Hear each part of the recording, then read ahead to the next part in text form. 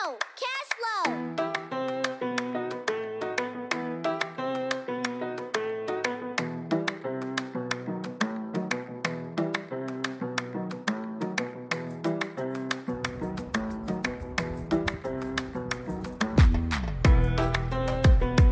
Good morning. I just got into my studio and before I really get to work on what I have planned for today, I wanted to show you guys around because you've seen it in the backgrounds, but it might be a good idea to show you what the space I work in looks like, kind of what I've got going on, some older projects that I'm just sitting around. So let's take a look. So this is my little cubby hole. You can see some drawings that I have up just to announce myself to the world. And as you walk in, I always hang my coat up right here next to all of the old stuff that I've done from the previous year that's hanging up the wall. We have screen prints, paintings, quilts, crochet, weavings, posters, everything I've done, oh, I've done over the past year. So it's kind of a little last to the past. But below that, we have lots of yarn. Let me just move this out of the way.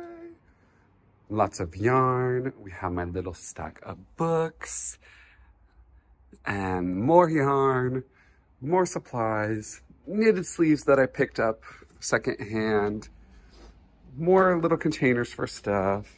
I actually bought some fabric to start working on a new piece later today. But other than that, just full of art supplies. We have old sculptures, these milk cartons that you saw in my previous video. They haven't really done much since, but they're here whenever I need them. Next to this large drawing, this is like the draft of something that I might use with this fabric. Just think like a large skinned armchair with a doily on it. I know that sounds a little bit creepy, but you might be able to see what I'm thinking of. I always keep some paper on me, so I have this large roll of paper, a doily that I made last year, um, an old sculpture piece that is a large lace room divider. I just keep this right here as background material. Here's my lovely view of the nasty, nasty scaffolding. And then all my little bits and bobs. Some more milk cartons, my cutie plants, some holiday cards, and then a pile of papers and stuff. But this is where all the real work happens on this desk. I just broke in a new sketchbook and was able to do the first page. Now I'm just working on some more notes and things. So this is a brand new sketchbook.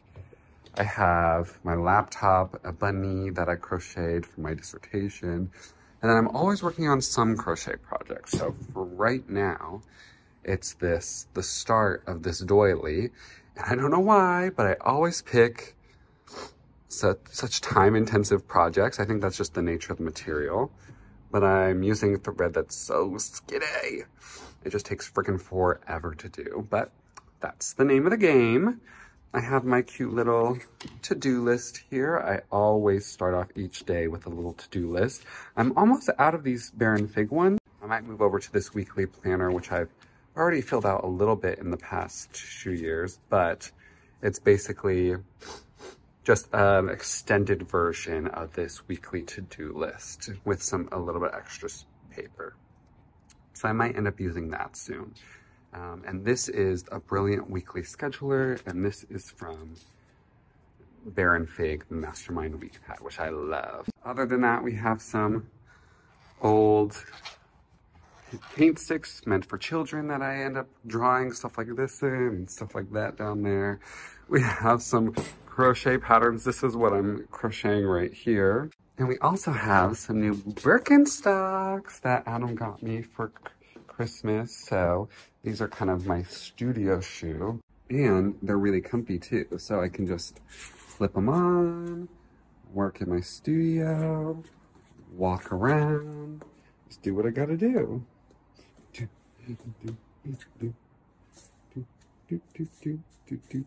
Today, my plan is to work on some CMYK separations for a screen print project that I want to do. I want to take this pattern, this paper pattern, and actually scale it to size so then I have something to cut the fabric with. I want to crochet some more. Um, let's see what else. And then obviously I have to draw. I can't not be in the studio and not draw. So come with me as I do a little day in my studio.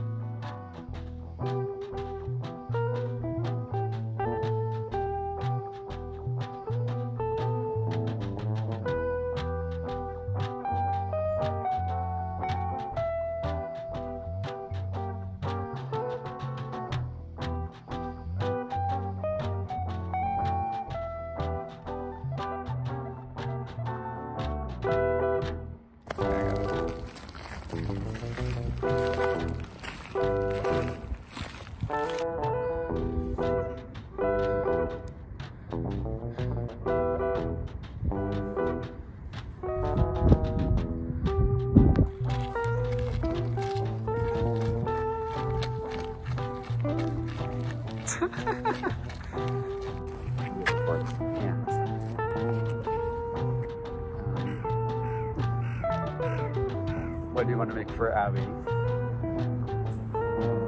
Like a welcome mat? Or I think that do you want like wall, wall art? Yeah. You can make something for Grant's man cave. I despise that. No, I don't that'd like be that. So fun. It'd be so fun. Why? I like the idea of a man cave. It's too Get in, don't go down the hill. tape. Back this way. It needs to be. I don't want it to be super colorful because I want it to be like modern still. Yeah. Like the one I made my parents is nice, but it's little color. Not that there's anything wrong with colorful, but I want it to be like. Most people need more color. I know people do. is that chuggy? Not like, not actually like put the canoe in it. But like I can have like tentacle like shapes in the water as an homage. As to, an homage to the Kraken. I know. The circumstance. You both decided to do the same senior project together. Mm-hmm. I like asked, I was like, do you think you would have met each other? If you were And would they have said like, no. on your canoe? They were like, oh, mm-hmm. no. Oh, where are you going? Oh, she wants the treats.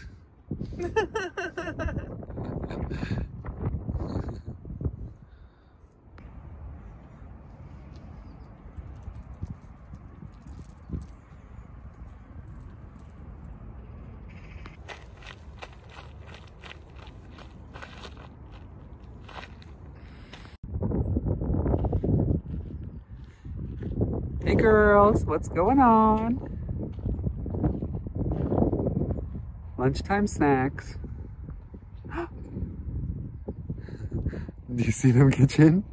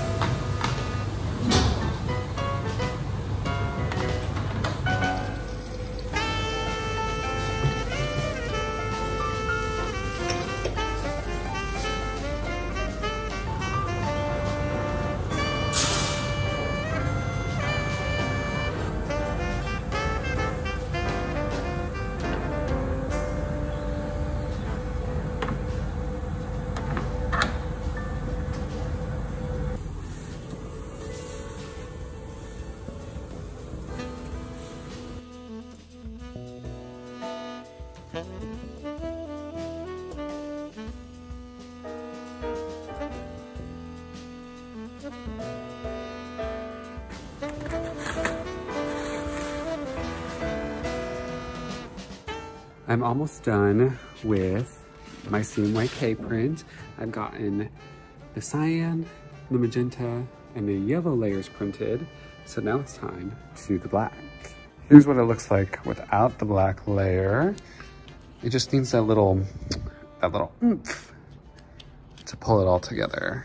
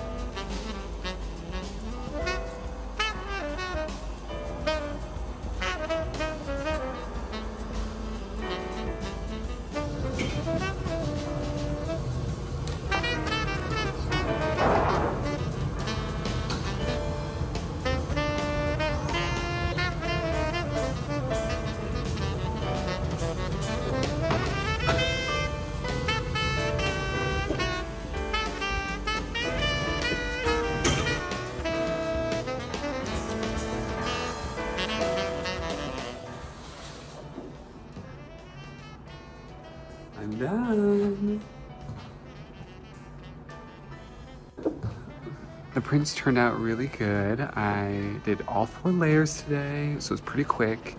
Um, I haven't gone through yet, so I don't know what size the edition will be, but I have a few really good ones, and of course some mistakes, but what's new? It's printmaking.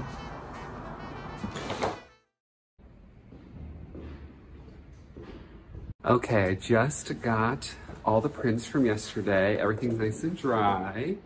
And they look so good. Let me do a little closer. There are a few bits where there was a little bit of misregistration or um, there are parts where I accidentally left a little bit of tape on the screen, but no one's ever gonna know. So I'm just gonna go through and pick the best versions of these, put them into a little edition, sign, and be good to go. Like here's a misprint where I had some ink bleed where it shouldn't have been bleeding, as well as some mistakes um, where I didn't cover things up in time. But then there are also tiny little issues like this bit right here where a piece of tape ended up covering one of my layers. But again, if you're really not looking for stuff like this, you'll never find it. I think this is probably the best print that I had. It's pretty, pretty good registration, no mistakes. So this probably will be my number one. But I just love the magic of screen print. Like this looks like a photograph, but you zoom in really closely, you see all sorts of baby dots. And when you break it apart, it's just four separate colors all merging in your eye, in your brain.